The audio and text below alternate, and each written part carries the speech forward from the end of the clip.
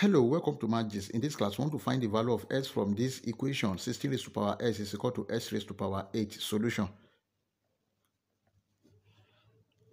16 raised to power s is equal to s raised to power 8.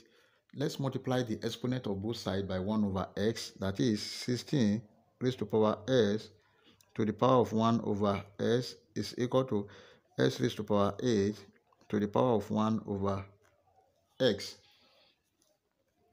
if you have a raised to power n to the power of m, this is equal to a raised to the power m to the power of n, this is equal to a raised to power m n.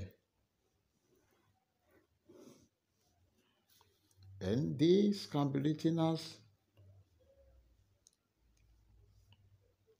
16 raised to power s multiplied by 1 over s is equal to s raised to power 8 to the power of 1 over s. This will cancel this.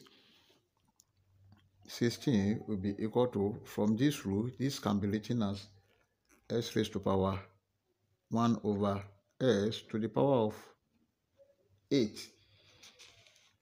Then let's multiply the exponent of both sides again by 1 over 8. There is to the power of 1. We have 16 raised to power 1 multiplied by 1 over 8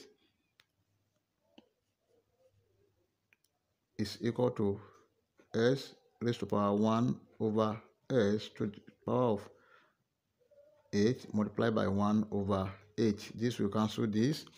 So this can be written as 4 square to the power of 1 over 8 is equal to s raised to power 1 over x. Now, 2 here, 1, 2 here, 4. We have 4 raised to power 1 over 4 is equal to s raised to power 1 over s. And from here, we can compare the base and the exponent. If you compare the base, s is equal to 4. And if you compare the exponent, 1 over 4 is equal to 1 over s. Now, if you cross multiply, s is equal to 4. Therefore, our final answer is s is equal to 4. We can check to confirm if our answer is right or wrong. Let's check. To check, we have the given equation 16 raised to power s is equal to s raised to power 8.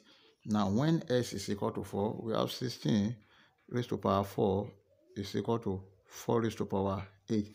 And 16 raised to power 4 is 6, 5, 5, 3, 6, which is equal to 4 raised to power 8 is 6, 5, 5, 3, 6 which satisfy the given equation at s is equal to 4.